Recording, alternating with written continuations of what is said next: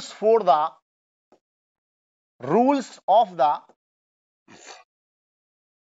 cell representation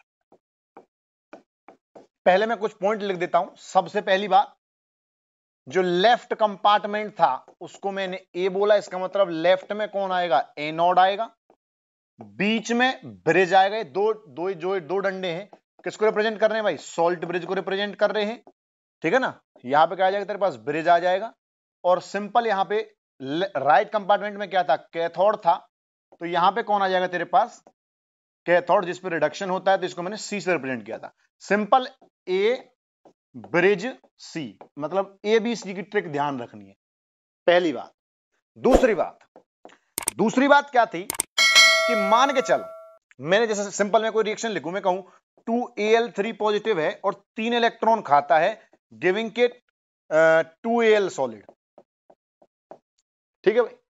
तो ध्यान रखना, कोई भी जो कॉफिशियंट है ना कॉफिशियंट सेल रिएक्शन में नेवर रिप्रेजेंट कोई भी कॉफिशियंट रिप्रेजेंट नहीं होगा।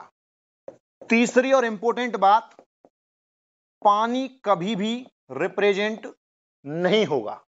चौथी और इंपॉर्टेंट बात अगर तेरे पास कोई गैसस आयन है, गैस ये, गैस का कोई भी आयन है, जैसे मैं H2 की बात करूँ, इसके केस में पीटी जैसे इनर्ट इलेक्ट्रोड का यूज़ करना पड़ेगा और पीटी जो रहेगा, वो डिसाइड करेगा किसके बारे में? प्रोसेस के बारे में। कौन सी प्रोसेस के बारे में भैया? कि भैया ऑक्सीडेशन हो रही है या रिडक्शन हो रही है? इसका मतलब क्या हुआ? इसका मतलब यह हुआ कि अगर पीटी यहाँ आया तो क्या है? एनोड है। और अगर पीटी यहाँ आया तो क्या है? कैथोड पहले ये चार पॉइंट समझ में आए सिंपल मैंने क्या बोला? एबीसी की ट्रिक ध्यान रखनी है। दूसरी चीज़ मैंने क्या बोली? कोई भी कॉफिशियंट कभी भी सेल रिप्रेजेंटेशन में रिप्रेजेंट नहीं किया जाता। तीसरी बात क्या बोली? पानी, जो कि प्योर फॉर्म है, कभी भी रिप्रेजेंट नहीं की जाएगी पानी की। ठीक है ना? चौथी बात मैंने क्या बोला? अगर कोई भी गैसियस आयन है तो पीटी जैसे इनर्ट इलेक्ट्रोड का क्या किया जाता है? प्रयोग किया जाता है। दूसरी बात।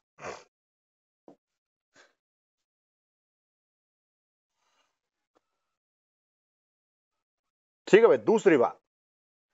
दूसरी बात क्या है? अगर मैं कहूँ, देख भाई हमेशा ध्यान रखियो। जो भी तेरे पास मेटल आयन रहेगा ना, वो किसके पास रहेगा? वो near to near to salt bridge रहेगा, नियर टू सॉल्ट ब्रिज रहेगा, और छठी और इंपॉर्टेंट बात, देख, तुमने देखा होगा अभी मैंने क्या यूज़ किया, जैसे मैंने जिंक सॉलिड और Z N two positive aqueous use कर रहा हूँ, ठीक है ना? और मान के चल मैंने इसी रिएक्शन को ऐसे लिख दिया, जिंक गिविंग के जेड एन टू पॉजिटिव तो ये जो ये जो डंडा है ना, ये जो है, ये किसको रिप्रेजेंट करता है? ये रिप्रेजेंट करता है डिफरेंट फ़ेज़ को। किसको रिप्रेजेंट करता है रे? किसको रिप्रेजेंट करता है? डिफरेंट फ़ेज़ को। और अगर मैं इसी बात को, मान चलिए मैं ऐसे लिख देता हूँ F two positive comma F three positive तो ये क्या होंगे? सीधी सी बात है, ये एक ही मेटल के दो अलग अलग इलेक्ट्रोलाइट है भाई, यहाँ भी आयरन यहाँ भी आयरन बस दोनों डिफरेंट ऑक्सीडेशन स्टेट में है। तो इसका मतलब क्या हो गया? ये जो है, ये किसको रिप्रेजेंट करता है? कि ये जो आयन है, वो सिर्फ़ डिफरेंट ऑक्सीडेशन स्टेट में है।